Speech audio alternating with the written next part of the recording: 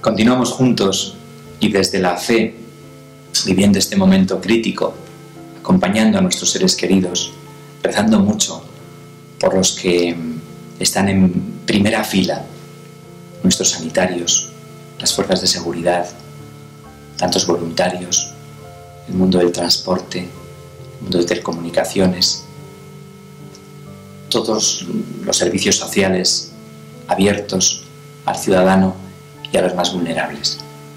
Este momento de encuentro también es momento para tomar conciencia de, quiénes son nuestros ángeles custodios, todo el esfuerzo de la sociedad civil, toda la organización eclesial, son mediaciones en la lucha contra la pandemia. Y este momento nos, nos hace caer en la cuenta de agradecimiento. Los santos de la puerta de al. El otro día decía el Papa de los sanitarios que exponiendo su vida están ahí, en contacto con nuestros enfermos. Pues continuamos, si os parece, donde lo dejamos ayer, en el huerto de Getsemani. Y desde ahí vamos avanzando con Jesús en la pasión porque realmente es consolador saber que Él está que Él participa de nuestra suerte, que Él ha tocado las raíces del dolor humano.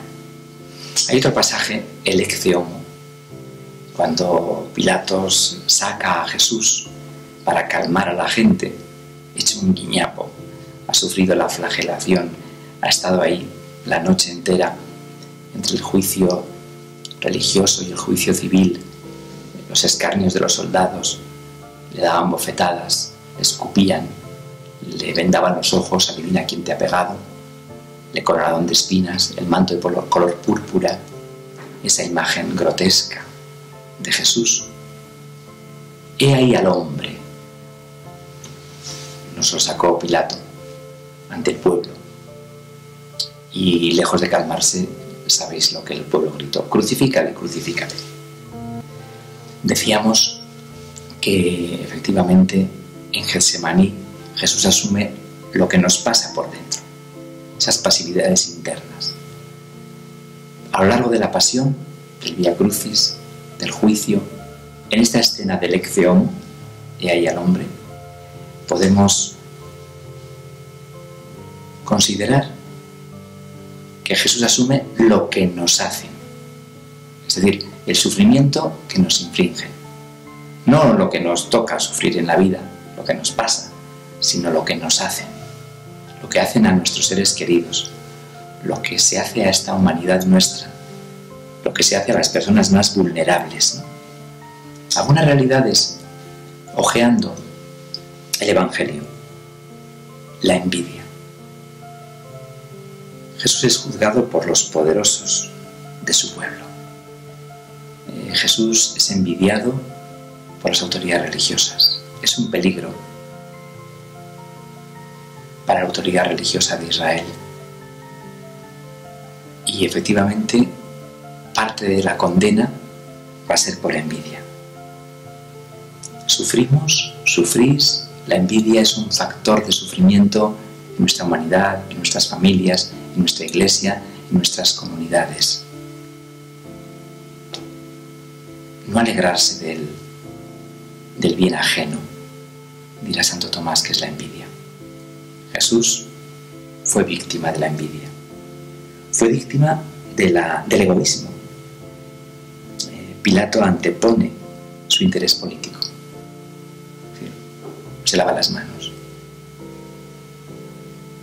Es más, eh, aquel día dice que hicieron las paces Pilatos y Herodes.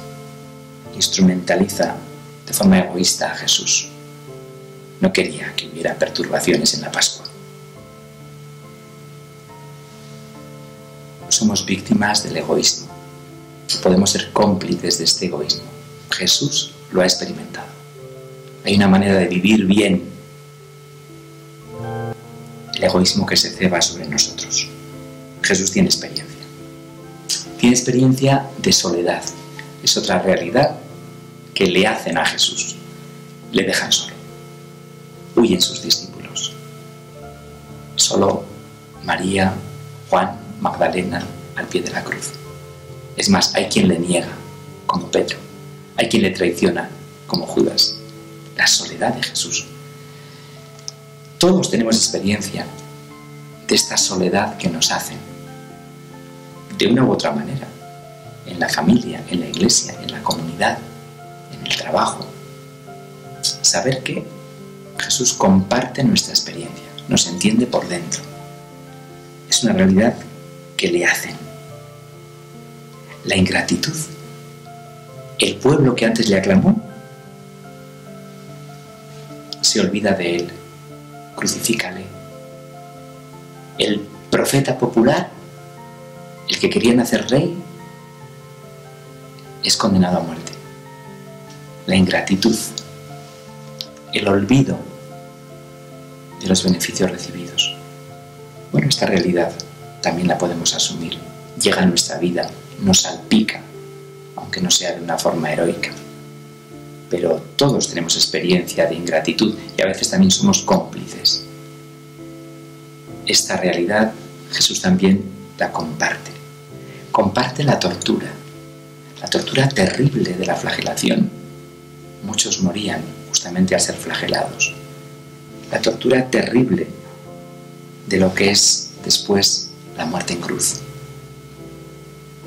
Jesús asume la suerte de los crucificados de la tierra, de toda la violencia en las familias, de toda la violencia en las guerras, de toda la violencia humana, en esos fondos de dolor por los conflictos humanos. La humillación sería una última realidad que también a Jesús le hacen. Es abofeteado, escupido, coronado de espinas, con manto de color púrpura, es motivo de escarnio. Podemos afrontar heroicamente lo que sea, incluso el sufrimiento, pero el ser el hazme reír, que se rían de nosotros, que quedemos mal, realmente retrocedemos. Jesús ha asumido también la humillación. Asumió esta humanidad con todas las consecuencias.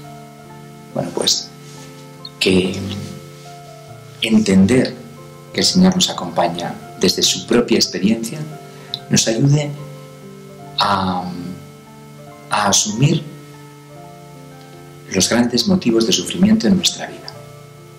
También los culpables, lo que nos hacen.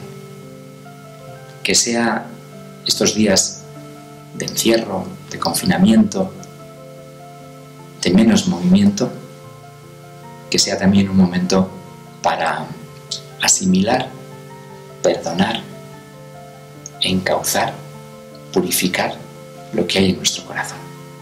Con ayuda del Señor, con ayuda de la Virgen, podrá ser verdad. Adelante.